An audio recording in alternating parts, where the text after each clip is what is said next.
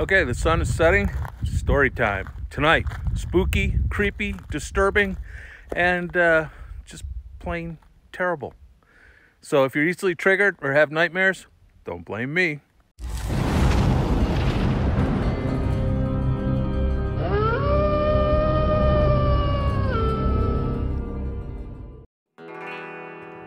Hey guys, ML Behrman here with another episode of Mojave Mysteries Mini Mysteries, which are small stories that didn't quite rate their own episode but are great nonetheless. Now, uh, before we get started, I just want to give a shout out to two viewers. Now, you may notice that YouTube now has started putting under the viewer a little dollar sign, and that's a thing you can donate to your favorite creator to help support the channel. And last Mini Mysteries episode, two viewers, Tony Hernandez and YouTube's donated. So guys, you bought the booze tonight. And tonight we're having coffee and fireball whiskey. Whiskey because it plays a factor in two of our stories. Well, maybe three. Anyway, let's I'm gonna jump in the truck and we'll get started. All right. Our first story comes from the desert near Blythe, California in the year 1969. Now, 1969 was a very tumultuous year in American history. The Vietnam War was going on, there were protests, assassinations. The FBI and the CIA had been investigating American domestic groups, everything from the Black Panthers to Martin Luther King to John Lennon and cults. And at that time, Charles Manson and his family were running their little murder cult up in Death Valley, which in the Mojave is north of where our story happens. And our story happens in the southern Mojave, where a cult was operating that a lot of people don't know about today. And the cult was called the Ordine Templar Orientalis, or OTO for short. And what it was is it had been founded in London in 1895 by a real twisted individual, this guy, Aleister Crowley. Now, Crowley at one time was called the wickedest man alive, and his lodge or, or cult centered around sex magic, which was his uh, term for different ceremonies that involve sex and bodily fluids that would give you uh, access to dark powers or whatever. Um, really, to me, I mean, I got to say, it was a bunch of mumbo jumbo excuse to get your freak on, but whatever. So that's where the OTO started. Now, when he died in the 1940s, it had pretty much died out, except a follower of his, or a follower of the temple, a woman named Jean uh, Brayton, born in London, came to the American desert and started her own version of the cult. And she called her lodge the Solar Lodge, and their compound they called the Ark, which was a name for basically what was a glorified um, goat farm. They raised goats and horses and did all sorts of weird ceremonies that had raised rumors, but people didn't really know what was going on out there. And she had gathered a bunch of uh, followers around her, and they had their little OTO cult going. Now, she was described as a Satanist who believed that black and brown people were inferior and there needed to be a race war in order to even things out, which is basically the same garbage that Charlie Manson was spouting with his helter skelter and and his uh, crap. Now, excuse me. There were rumors that he had been seen down at her cult in the southern part of the desert, and that they were kind of bumping heads on stuff. Uh, rumors, I don't know. This story has so many different versions. I'm going to try and give you as easily condensed version as I can. And anyway, uh, she was running this cult, and the people near Blythe didn't know what was going on out there, but they had suspicions that it wasn't good. Now, what happened next? There's three versions. One, that the FBI had an informant inside the cult and that he tipped off the police as to what was going on. The other version is that uh, it was just one of the cult members got sick of what was happening and he tipped them off. And that's what the Riverside police, who ultimately prosecuted the case, said was the deal. And the third was that uh, some locals had gone out there to purchase some livestock, specifically a couple horses. And while they were out there, they saw a little boy chained in a box, six by six foot crate, out in that blazing sun. He was covered with sores, dirty, chained, um, no food or water, or at least rotten food, and, and very little water around him. And he seemed out of it, obviously. And um, he said the smell was really bad. So they came back and told the Riverside Police Department, which is the county that it was in, I guess, uh, what was going on or what they had seen. And the police department raided the farm. And when they raided it, they indeed found the little boy chained up in this box, and they arrested like 11 people that they could find. But two people got away. One was the leader, this lady, Mrs. Brayton, and the other turned out to be the child's own mother, a, na- a lady named Mrs. Gibbons. The child's name was Anthony Saul Gibbons, and the Gibbons family, I guess, were followers of this lady, and um, this was her son. Now, the story that the informant gave to the police was that this little boy had accidentally or had set one of the buildings on fire and it had burned down and killed a couple of the goats, livestock. So Mrs. Brayton called everyone together in the cult and had a meeting about what to do with the little boy. And if you want to talk about a monstrous happening, supposedly his own mother said the little boy should be executed. He should be put to death for doing this horrible thing. And this Mrs. Brayton, the leader, said, No, what we're going to do is we're going to chain him up. We're going to torture him and punish him as an example to the others of, you know, to toe the line or behave or whatever. And so they did. And supposedly they kept him in this box for 56 days. And they only let him out to torture him, to burn him with matches, to make him dig graves, to do mock, mock executions of him, and they dosed him with LSD at the whole time. Now, when the paper got a hold of this, immediately, you know, it had to be sensationalized, and their story was this Box Boy, right? The commune or mysterious cult had tortured this little boy and kept him in a box, and they named him Box Boy. And they had a trial with who they could get their hands on were these other members. And uh, as the trial went on, they were able, the child was in such bad shape they had to nurse him back to health before he could even testify. And eventually he did testify. Right? Box Boy tells all. And in it, the little boy said he had been playing with matches. Now he was six years old and he accidentally set the shed on fire and it did burn down. And that, again, they had decided to torture him as an example to the rest of the cult members of what not to do. And the only picture I could find of him was this really bad copy here. And that pictures the little boy there. You see him. And the caption of the article said that that girl is his sister. Now, I didn't read anything in any of the articles about other family members being there and nothing about a dad, just that his mom, this Mrs. Gibbons, a follower of Mrs. Brayton, was one of the instigators and she would come and go as he was being tortured. Like, imagine your child out there and this is what's going on and you, you don't even care.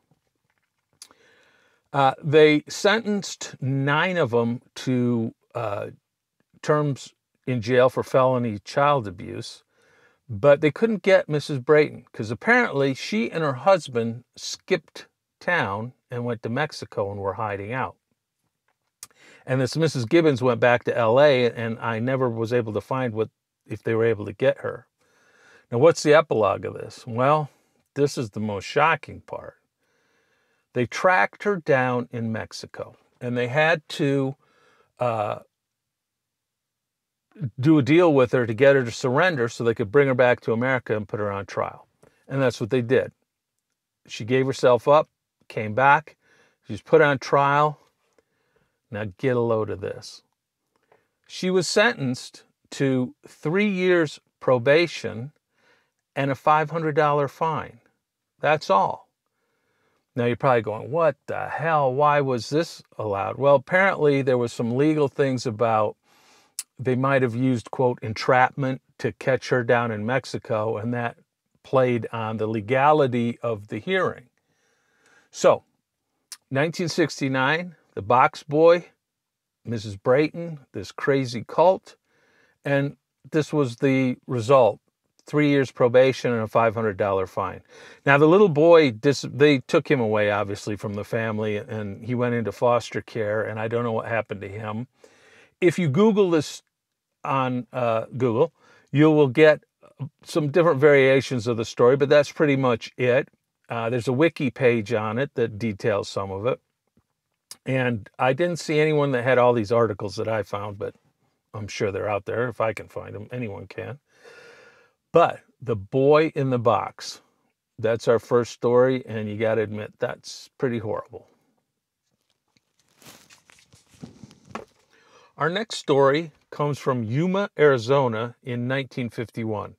And this is a classic desert missing person story. Classic in the sense that it's got so much weirdness about it that, uh, well, I'll tell it and you tell me what you think happened. In 1951, a couple in their 20s, uh, Klaus Martins and June Palmer, rented a plane eh, from Blythe, believe it or not, and were flying to Arizona. And they disappeared, or at least the plane disappeared. There was no report. They never made wherever they were supposed to go. And a search was mounted. They started looking in the desert and out in an open spot near Yuma, which there's a lot of open spot out there. Uh, they found the plane and it was abandoned. It had been landed in the desert and left. Now, there were some curious things there was a note pinned to the seat that said, We are walking west. And that was it.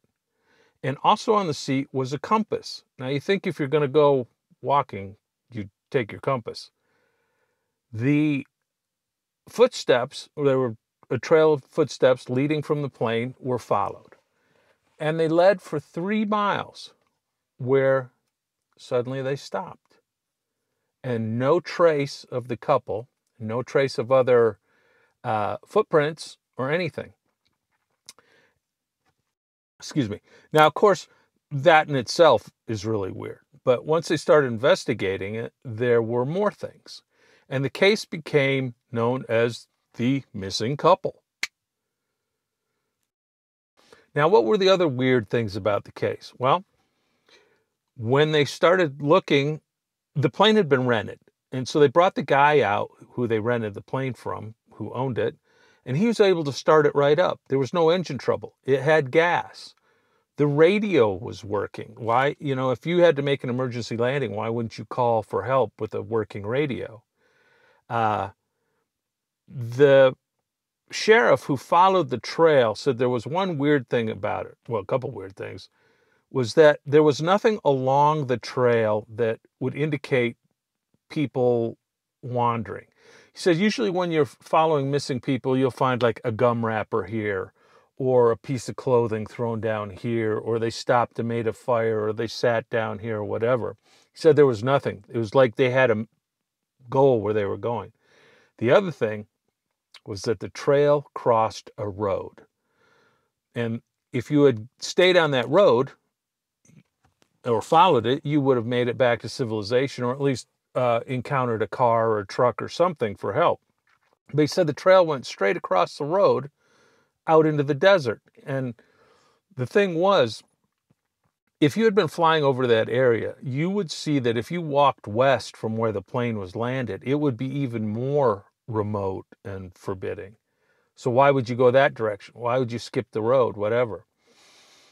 And so, of course, all these theories started popping up. They started looking at the couple. Well, turns out she was a dental assistant and, and uh, he was a uh, young guy that was working in aerospace and other things. But they found out that his dad had been an ex Nazi bigwig during the war. Remember, this is 1941. And was now a big communist uh, member in East Germany, because at the time Germany was partitioned, you know, the eastern half was communist. So they figured, well, some people figured, oh, there must have been some skullduggery where he was, you know, going over to the commies and they arranged this thing where he'd be picked up in the desert and get a whole new life and do, you know, whatever nefarious activities he was going to do. And they had, someone put out the report that there had been plane tracks near where the their tracks had stopped and that the sheriff said it looked like a plane had landed and picked them up. Now the sheriff said came back and said, No, I didn't say that. There were no tracks. Uh, he goes, At most, there might have been a rainstorm or something that erased the rest of the tracks, but I saw no car tracks, no plane landing tracks, nothing. No, nothing to indicate that they had done anything other than walked into the desert and all of a sudden disappeared. And they have never been heard from since. There's been more theories like uh, he was actually working for the CIA and he decided to go undercover and that this was a way to disappear and make it look like it was natural. Now, that is an indication of thinking that doesn't quite follow what covert activity is. Covert activity is supposed to be under the radar. If you're going to disappear, why do something like this where it's going to involve federal agencies searching for you? I mean, if you're going to try and disappear, you just go out the front door and catch a cab and off you go. I mean, come on, husbands do that all the time, right? Uh, so this case, I mean, it, it's it. This one is really mind bending in that why would they land that plane that was in good shape, working radio, take off in the desert, leave their compass, write this note that just says we're walking west, not why, where they're going, whatever because this happened in the 50s, I mean, if you're a fan of classic 50s horror and sci-fi movies, this one it seems like it came right from some scriptwriter's brain because you know what happened, UFO picked them up or now one theory was that maybe they had come across drug smugglers or human smugglers and they had been killed and put out of the way somewhere, which is entirely possible because in that part of the desert along the border there's a lot of shady stuff going on. Um, so anyway, that's it. The missing couple that disappeared after landing their plane for whatever reason. I'd be curious what you guys think might have happened. Um, it's a strange one. Our next story comes from Vermont in 1882. And this one needs a little background uh, in that it involves a variation of stories that were popular along the frontier going back to the 1700s, and it involves large hairy creatures. Specifically, large hairy creatures interbreeding with people. Now, we're talking about Bigfoot, right? Or wild men or wild women or whatever. Native American folklore that has a lot of these stories usually goes like this a creature kidnaps a maiden who's out working or doing something in the field or woods and takes her off.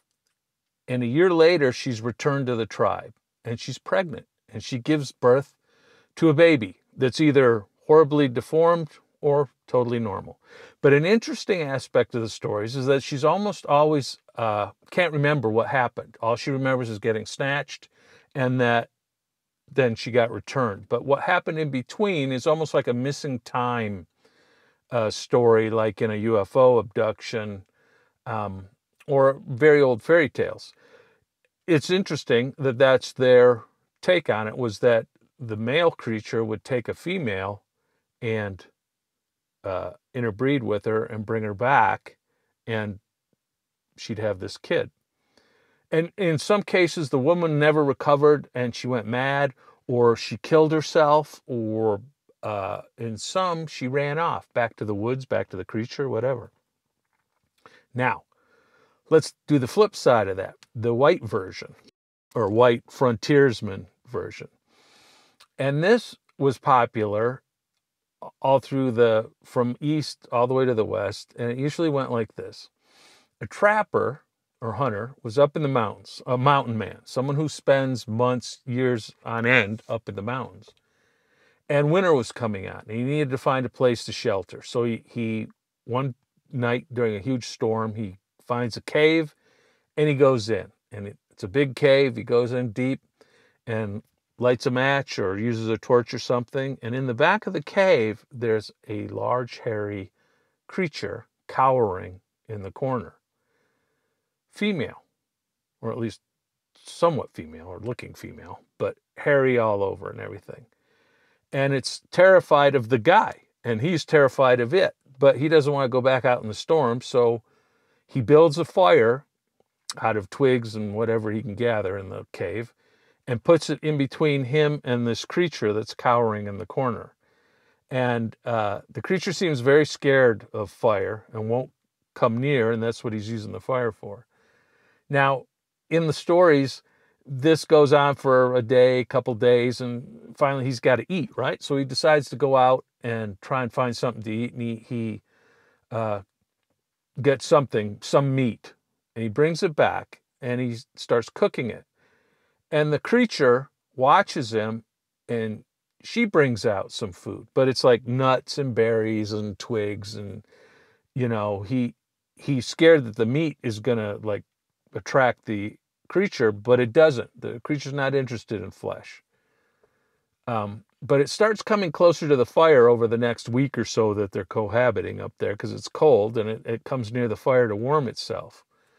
So the tale goes on that that the, he spent the winter up there with this creature cohabiting in this cave, and they got closer and closer. You know where this is going. Springtime arrives, and guess what? She's pregnant and has a baby. And the baby is half white, half Bigfoot and in certain stories like it's like almost perfect you know like one half is hairy one half is white or it's like piebald right it's got patches of hair and then patches of white skin and and, and some it's you know the upper half is ape like and and bigfoot and the bottom half is white man like and whatever so our trapper has this woman and child well spring is coming on. The ice is breaking up. The rivers are able to f- navigate and the lakes. So he decides it's time to leave. And he loads his canoe and launches it on a lake. And all the time, this Bigfoot creature is holding the baby, watching him, you know, wondering what's going on. And he paddles out into the lake and starts off like, see, I had my fun. I'm out of here. Eh, eh, whereupon the creature starts howling you know, pitiful and holding up the baby like, look, look, you know, and he's, you know, just keeps going. And suddenly the creature gets enraged and rips the baby in half and throws the white half at him and throws the other half down and turns and runs off into the woods. And he keeps going. And for years after, they can hear the Bigfoot creature up there sobbing or, or howling or, or crying. So that's that's the folklore story. I mean, there's many variations of that uh, going back to Daniel Boone times in American frontier folklore. Uh, yeah, okay. I'm not going to comment other than yeah, okay. I don't know why if you interbred with some ape-like thing, you'd be off bragging to your friends about it. But anyway, uh, that's that. Now, how does that bring us back to Vermont in 1882? Well, it does, because the article, A Wild Woman in Vermont, and it details a very interesting experience that is slightly different than the interbreeding one I just told you. And what I'm going to do is I'm just going to read you the article because it's It's short, but it's it's crazy. All right. Excuse me, I got to put on my uh, cheap drugstore cheaters here. Okay. Here it is. A wild woman in Vermont. A Frenchman who recently visited Bear Swamp near Stamp Stamford, Vermont, on a hunting excursion relates this story and furnishes partial proof of his statement in the scars which his face bears. After traveling about the woods in the vicinity of Bear Swamp with varying success for about half an hour, he was startled by a sudden noise in the thicket nearby and at once put his gun to his shoulder. But seeing a strange apparition, which at first sight he imagined was a bear, he started on a run for a tree. A wild, maniacal laugh followed him, and the black haired creature disappeared, walking, as the man thought, on its hind legs. The noise emitted from the creature's lungs led the hunter to believe that it was something other than a bear, and mustering as much courage as his frightened condition would allow, he started to investigate. He had proceeded but a short distance into the depths of the brush and undergrowth when he caught sight of the black figure leaning over a spring, drinking, with its back toward the hunter.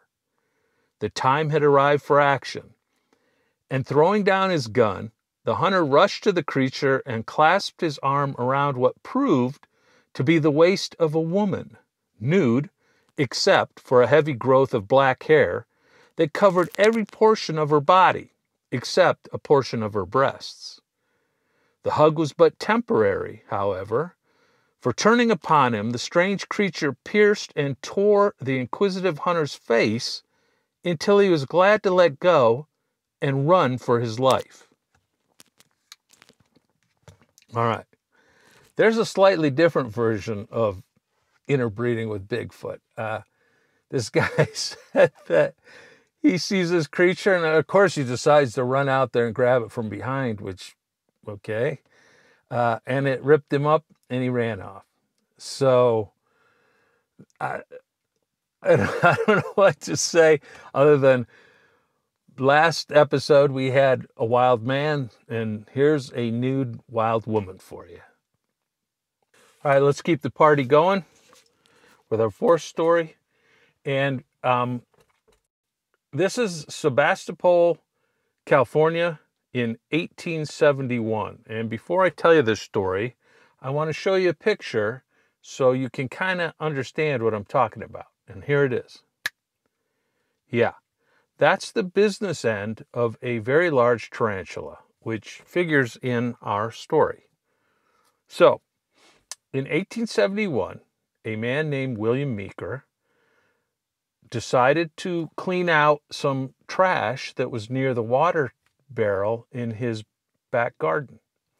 So he went out there and stuck his hands under the barrel to clean out some of the trash. Now, if you know anything about the desert, you never stick your hands, your feet, or your butt where you can't see what's down there. So, anyway, he sticks his hand in there and starts pulling out some brush. And of course, he feels something latch on to his finger of his right hand.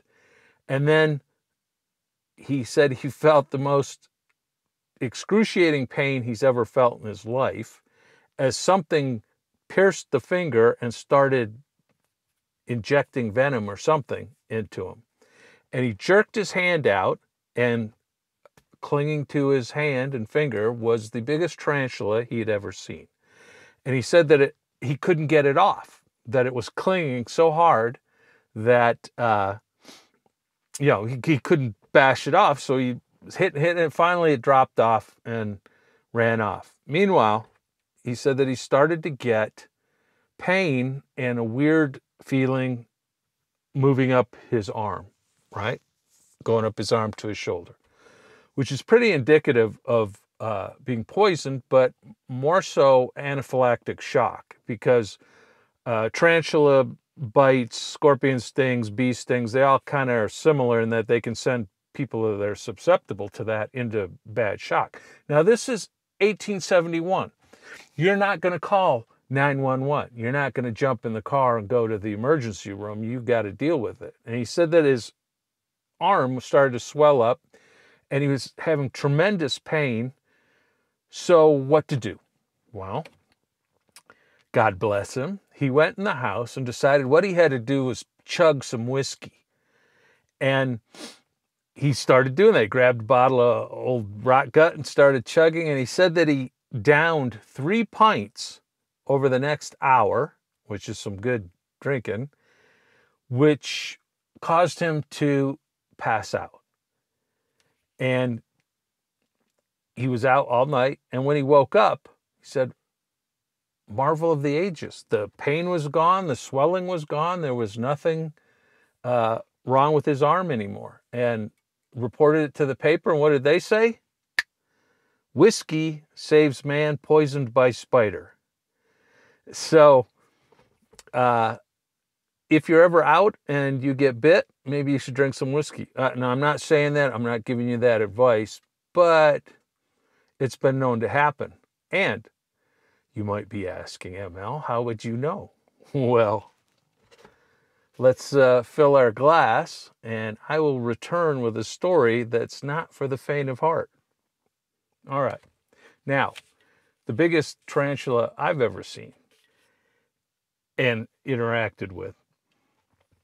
A few years ago, well, more like 10 years now, uh, some friends and I went out into the desert, spend the night during August, full moon, and we set up camp. We no roads, nothing. We had gone out in the back country, making our own road. We set up our jeeps and our cots, uh, my best friend, his wife, and just me, and had a cookout and went to bed. Now, I had told his wife, you got to be careful when you're sleeping on a cot in the desert that you don't let the blanket fall onto the ground. Because whatever crawls on that ground at night will crawl right up that blanket into bed with you. And, you know, she listened, okay. So we go to sleep and I woke up around two o'clock, which I usually do. And, and, on a full moon night, I like to just lay there and watch stuff because in the desert, full moon, you can see things so well.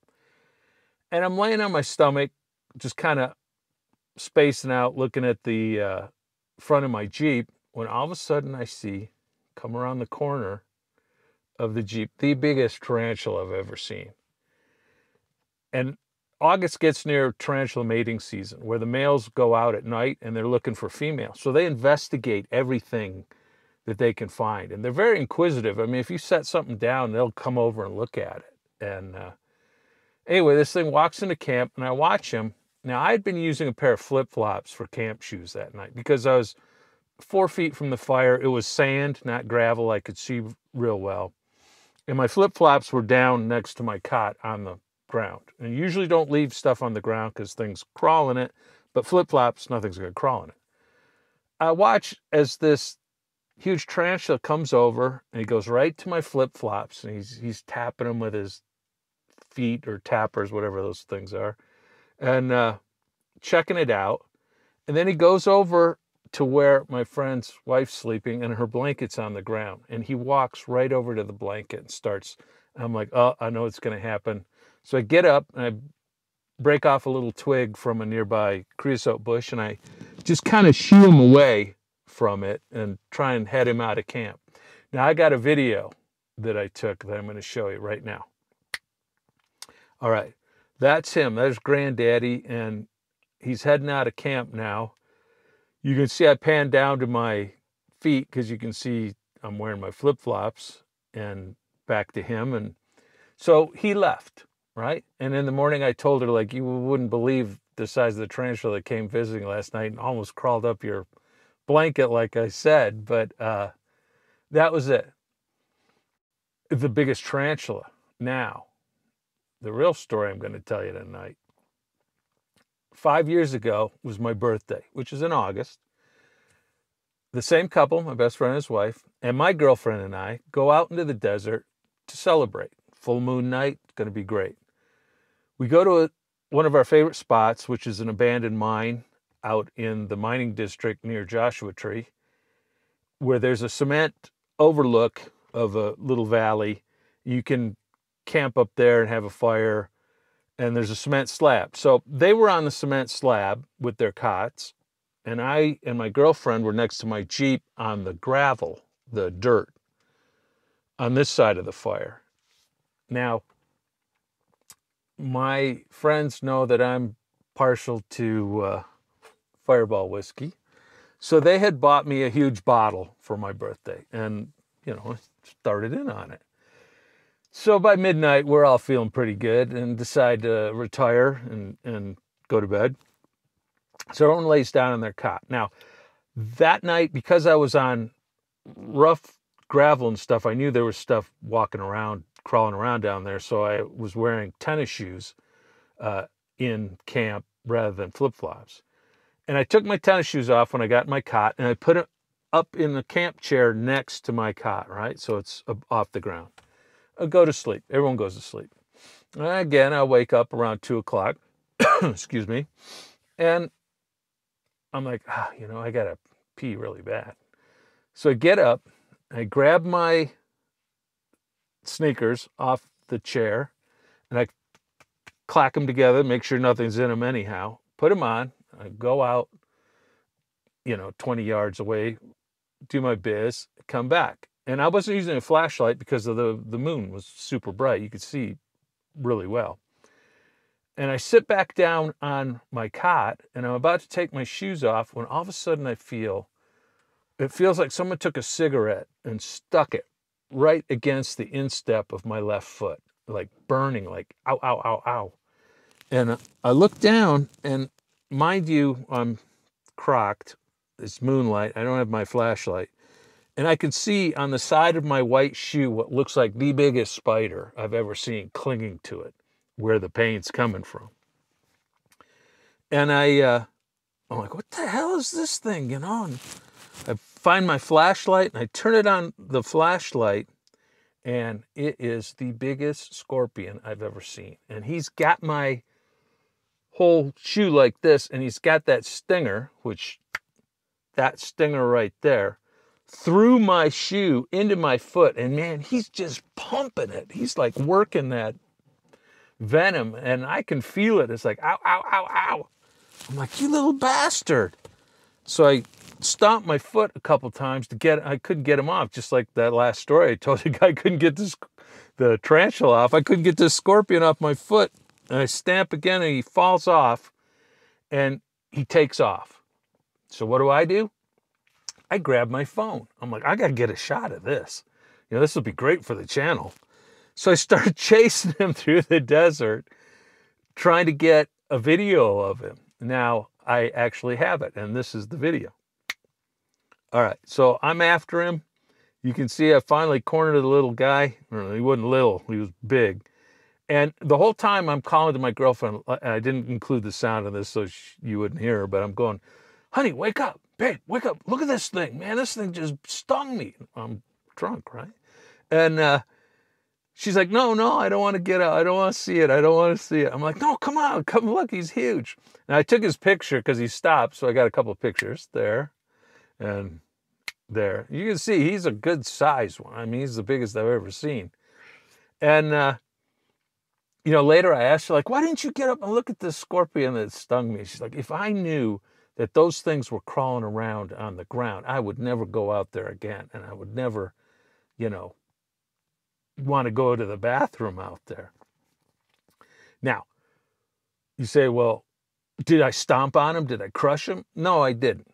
And, you know, because it's his desert. I mean, we're visiting. He lives there, and it wasn't like he came out of the darkness and and attacked me, right? He, what happened was he was probably under my cot, just sitting there, and when I walked back and put my foot down, I probably almost squished him, so he, you know, attacked to protect himself, and that's when he was uh, giving me a shot of scorpion juice.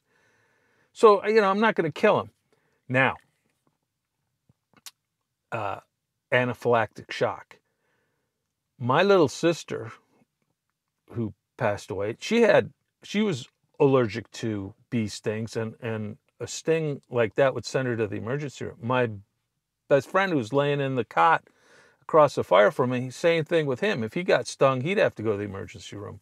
I've been stung a bunch of times, and it, it's never bothered me. But there's always that, okay, is this the one that triggers your immune system? So even though I'm drunk, I'm kind of like, you know, checking my pulse and like, hmm, you know, am I like starting to, because I'm feeling warm. I can feel my foot's like hot. I'm like, oh, you know, it's just, am I full of poison and now I'm going to have a reaction? Because he pumped me full. And uh, I'm like, you know, what am I going to do? And wake up my friends like, hey, you got to take me to the emergency room. I just got stung by a scorpion. You know, it would take us hours to get out of there and get to the emergency room. And, you know, I don't want to be a pain in the ass. I, oh, I don't want to die, but I don't want to, you know, ruin the night. So, uh, what did I do? I'm like, well, they got me this big bottle of Fireball. So, uh, I started hitting it and I took a few good swigs and laid back down. And I'm like, well, you know, the moon goddess is up there, so I'm in her hands. Uh, if I wake up, cool. If I don't, well, my problems are over. And I went to sleep. Needless to say, I woke up, I was fine. Uh, I told my friends what happened. I showed them the video. Now, on my foot, to this day, there's a red dot on my instep where he got me through my shoe with that stinger. So uh, it left like a little mark on my foot. And did whiskey cure it? Well, I don't know. And again, for legal reasons, I'm going to say if you get stung, bit, whatever, don't rely on alcohol to save you. But uh, as the cowboys used to say, bottoms up, right? Now, I will add, I have been nailed by almost everything out there except rattlesnakes, thank God. Because there's a saying that everything in the desert bite, scratches, or stings. And there's another little buddy we have out there called the camel spider. And here's a camel spider.